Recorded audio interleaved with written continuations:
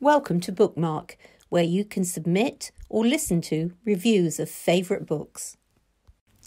I'm reviewing Lady in Waiting by Lady Anne Glenconner. If you are a royalist or are simply fascinated by the pomp and ceremony of the upper classes in the first half of the 20th century, then this book is for you.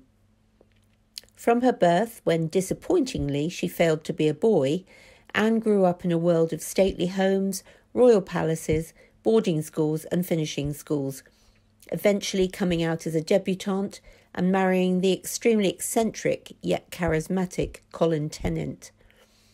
She was totally used to moving in royal circles and was an attendant at the Queen's coronation in 1953.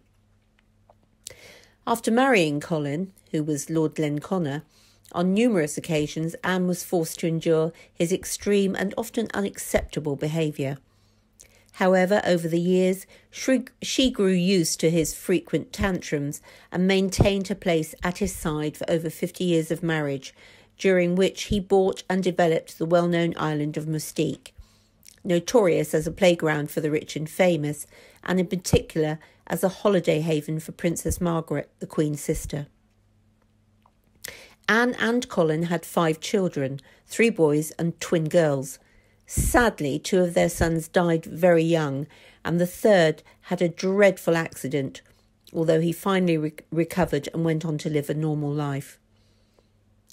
The book focuses heavily on Anne's strong friendship with Princess Margaret. In particular, Anne was lady in waiting to the princess for many years, and in interviews, Anne has stated that she wanted very much to throw a more favourable light on the princess, who so often had such a bad press. Over the years, Colin had many affairs, and although Anne turned a blind eye to them, the final insult came on his death when he chose to leave his estate to a manservant rather than to his family.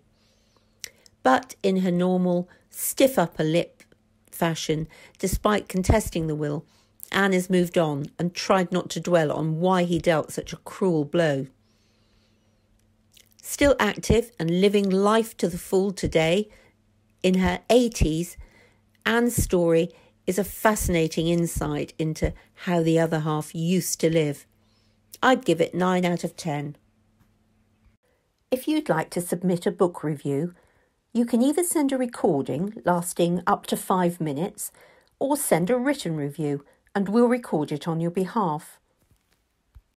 Please include your name, the book's title, the author, and the genre, and tell us how and why it gripped you, or maybe it disappointed you. Tell us if you'd recommend it, and try and give it marks out of 10. Thank you. All submissions should be sent to bookmark at shaftesburyartscentre.org.uk. This has been a Shaftesbury Arts Centre audio production.